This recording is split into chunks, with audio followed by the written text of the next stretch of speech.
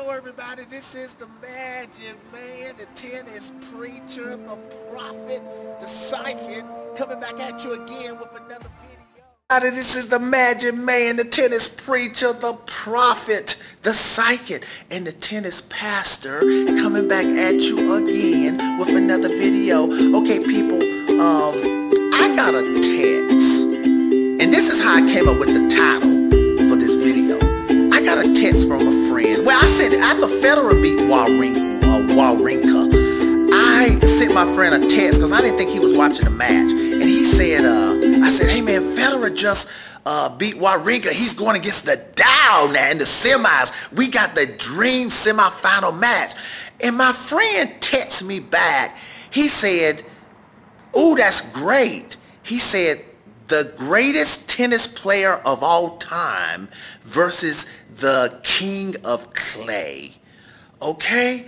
And um, so that's how I came up with the title. So uh, that inspired me to uh, come up with this video and uh, explain this topic. Okay, this is the magic man, the tennis preacher, the prophet, the psychic, and the tennis pastor coming back at you again with another video. Okay, people, now I just made a, a video saying that uh, uh, I'm giving Federer a good chance of beating Nadal. I'm not choosing him to beat him, but I'm giving him a good chance, a much better chance than anybody else. And I said it's only three people that think Federer has a good chance of beating Nadal. That's me, uh, Ljubicic, Federer's coach, Ljubicic, and uh, Federer himself. And Federer is the one that needs to believe that he can beat Nadal, or to, uh, or to think that he has a good chance of beating Nadal. Okay, now, people, this this video means exactly. It, it means exactly what the title says. At least I'm going to explain what that title says. The title sounds sort of uh, straightforward, but it's deep. It, there's a there's some deep psychological dynamics, past dynamics, uh, present dynamics, future dynamics behind that title. The greatest tennis player versus the greatest clay court tennis player. Okay, okay. Or I could have said the greatest tennis player versus the king of clay or god of clay. But we'll say the greatest tennis player, Federer, versus Nadal, the greatest clay court player. Okay, now you may say, Magic Man, I mean, okay, okay, whether we agree with that or not, well, that sort of sounds sort of true. We, of course, we know Nadal is the, uh, the, the greatest clay court player of all time. And we can say arguably, I put, I, I give Federer the GOAT, but I will say arguably, I mean arguably, not unarguably, because that means there's no doubt. Uh, arguably, meaning there is some doubt that you can debate it, okay, and then there's, there's a little debate. But I, I, I would say Federer has proven to me he's 70% the GOAT, okay? You know, I, feel 70% sure that he's the GOAT right now, okay? All right, or even a little more than that. But, but, but okay, so here we go. You may say, Magic Man, what is that greatest, the greatest tennis player, Federer, greatest tennis, tennis player of all time, Federer, versus Nadal, the greatest clay court player of all time. What has that got to do with the match, the semifinal match tomorrow, okay? What, what, I mean, what, how does that affect the match? Okay, people, check this out. It, it, it does affect the match. And let me tell you why, okay, people. I believe, and I've done videos on this in the last couple years, I believe Federer believes he's the GOAT okay? He believes, listen, he believes Djokovic and Nadal could surpass him one day, but I think right now, and I think Federer has always felt that way, he believes he's the GOAT. Now, he does believe that the Nadal and Djokovic are as good of a players as he is, okay? I don't believe he believes he's uh, any better of a player than Djokovic and Nadal. I mean, they got different styles, and but but but I believe he believes he's a greater player than them and that he is the GOAT. I, I believe Federer thinks that way, okay? Now, of course, Nadal knows he's the greatest clay court uh, player of all time. And I don't think Nadal thinks he's the GOAT, okay? All right, so he was like, okay, Magic, okay, that may be true, but what has that got to do with determining who wins between Nadal and Federer. It sounds like you're just talking some, some something about the GOAT debate, but we want to know, we want a preview of the match tomorrow. Okay, people, it does have a lot to do with this. Okay, now remember in the video I just made, I said that Federer, he sounds sort of confident that he has a good chance of beating Nadal. And he told, he, he took and chest, chastised, Lord have mercy, he chastised the sports writer for asking him a dumb question, uh, telling, or uh, making a statement to him, telling him he doesn't have a chance of beating Nadal. Federer says anybody has a chance, and of course he does, okay, because He's the GOAT. Okay, now people, people, what fr frustrated Federer so much in the past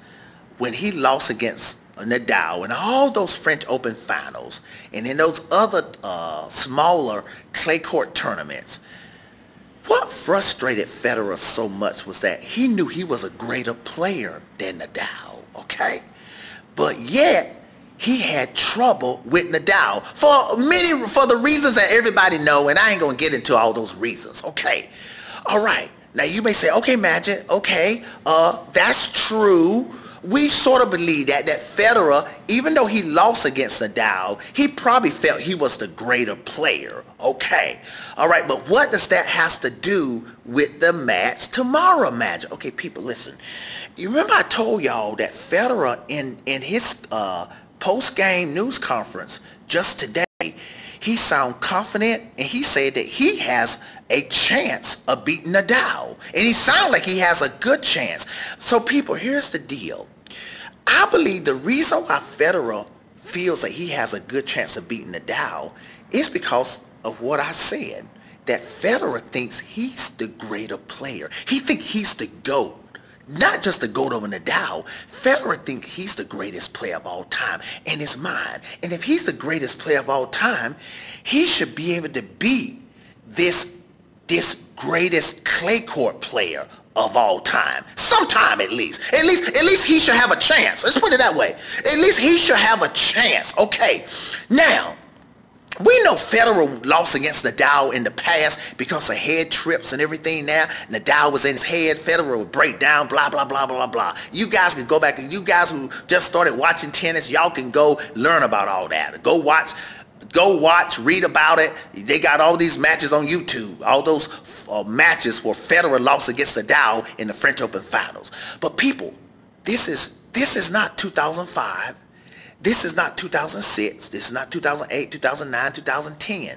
Okay, 2011, whatever. This is 2019. And what Federer is saying, it, it, it, what Federer is saying, well, he was telling that sports guy, I'm the GOAT, bro.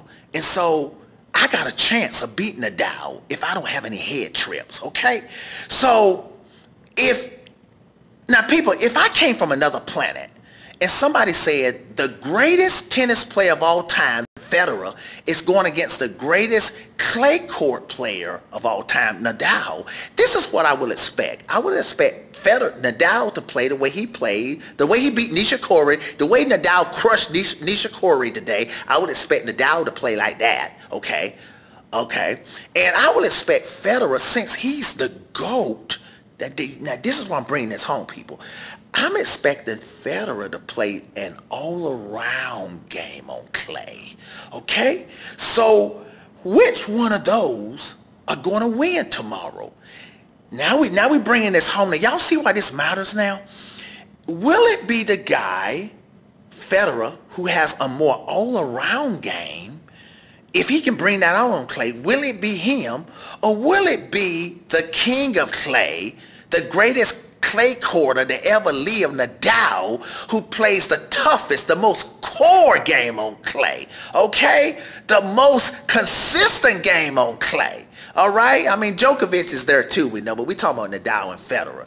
Will it be, so y'all see the dynamics? So, so this is what, this is what we, so you, so you said, okay, Magic, I sort of understand what you're saying, but can you get a, little, can you explain it a little more? Basically, people, this is what I see.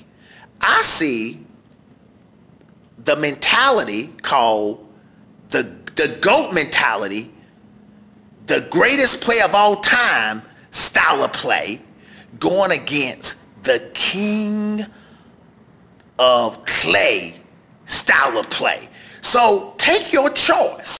Which one of those you think will win? Now, somebody would say, well, Magic, okay, we understand your theory. Maybe in theory, the greatest play of all time could be at least sometime or half of the time the the it could be the greatest clay court style of all time that Nadal has. But Federer hasn't done that. He hasn't proven. Okay people that's that's correct. But here's the deal. What Federer is thinking now though I don't have those trips in my head against the Nadal that I used to. I was the goat over Nadal. I knew it, but I couldn't I couldn't get Nadal out of my head. Nadal is not in my head now. So now I'm able to play a greatest of all time game. At least he hope he can bring that out. So so that's what we're gonna see. Can Federer bring out the greatest? Can he look like the great? Can he look like the goat against Nadal? Okay, we know Nadal gonna look like the king of clay. All right, so so so so the the, the closest video up. This is what it's all about. Can the guy who most experts and fans arguably say is the GOAT, can he play like the GOAT tomorrow? Okay?